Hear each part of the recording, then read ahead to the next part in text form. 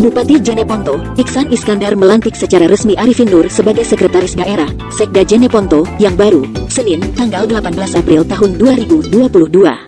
Pelantikan berlangsung di ruang Polapan Randuanta, kantor Bupati Jeneponto. Usai melantik, Iksan tidak lupa memberikan ucapan selamat kepada Sekda baru.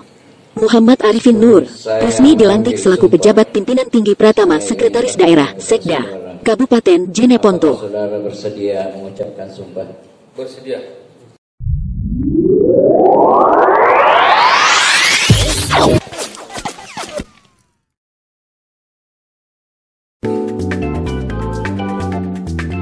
Muhammad Arifin Nur dikenal sebagai pamong senior yang sudah syarat pengalaman.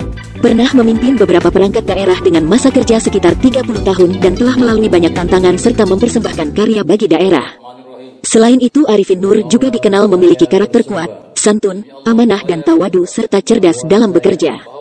Sebelum dilantik, Muhammad Arifin Nur mengikuti seleksi terbuka oleh panitia seleksi, Pansel, bersama beberapa pejabat senior daerah lainnya dan telah mendapatkan rekomendasi dari Komisi ASN serta disahkan melalui Surat Persetujuan Gubernur Sulawesi Selatan nomor 800 per 2138 BKD tanggal 11 April tahun 2022. Bupati Iksan Iskandar dalam sambutan menilai momentum pelantikan Sekda hari ini penuh dengan makna karena dilantik dalam suasana hikmat bulan suci Ramadan.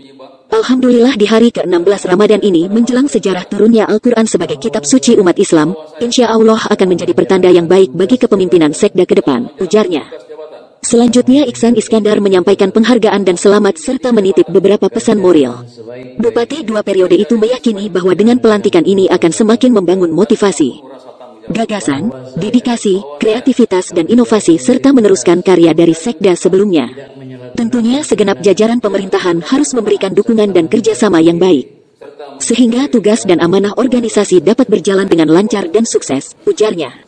Lebih jauh, Bupati Iksan Iskandar menjabarkan bahwa tantangan ke depan sangat dinamis dan penuh kompetisi di mana pemerintahan saat ini diperhadapkan pada dinamika dan paradigma kerja yang terus berubah dengan cepat. Reformasi birokrasi menjadi program aktual yang harus kita kerjakan bersama, fungsi pemerintahan sebagai fungsi pelayanan, pembangunan dan pemberdayaan harus mampu diembang dengan baik.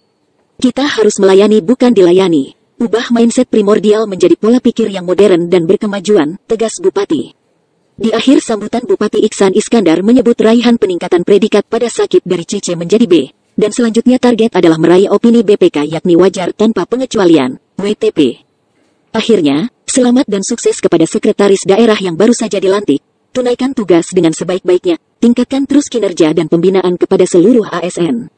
Kompak dan pelihara kebersamaan dalam pelaksanaan tugas serta lakukan progres pada 100 hari kerja ke depan, terang Iksan hadir dalam pelantikan Ketua DPRD Jeneponto H. Arifudin. Dandim 1425 Jeneponto Gustiawan Ferdianto, Kajari Jeneponto Susanto Gani. Mewakili Kapolres Jeneponto dan beberapa pejabat tinggi Pratama dan pejabat administrator lingkup pemerintah Kabupaten Jeneponto. Bismillahirrahmanirrahim. Dengan memanjatkan puja syukur kepada Tuhan Yang Maha Esa. Berdasarkan keputusan Bupati Jeneponto nomor 820 garing 170 garing 2022 maka pada hari ini Senin tanggal 18 bulan April tahun 2022 saya Bupati Jeneponto dengan resmi melantik saudara sebagai pejabat pimpinan tinggi Pratama Sekretaris Daerah Kabupaten Jeneponto.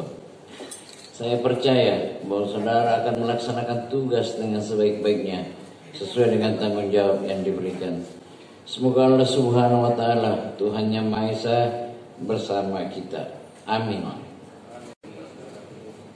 Yang terhormat Bupati Jeneponto disilakan kembali ke tempat.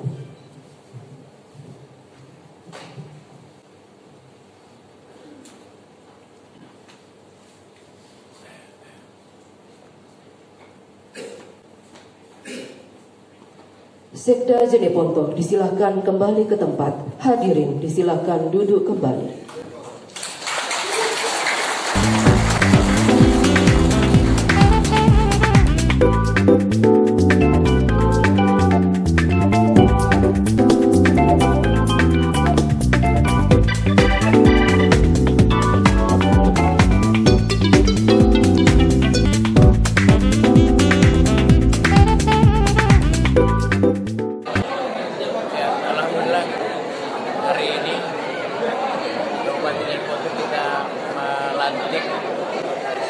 tamu Senior, Bapak Haji Arvin Nur, selaku Sekda. Yang definitif di mana sebelumnya dijabat oleh Basir Mohani selaku PLT.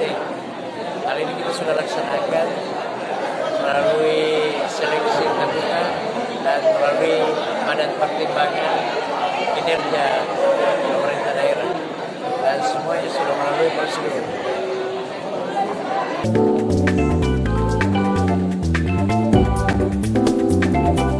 Demikian laporan Muhammad Iqbal Kepala Biro Selebes Magazin Kabupaten Jeneponto.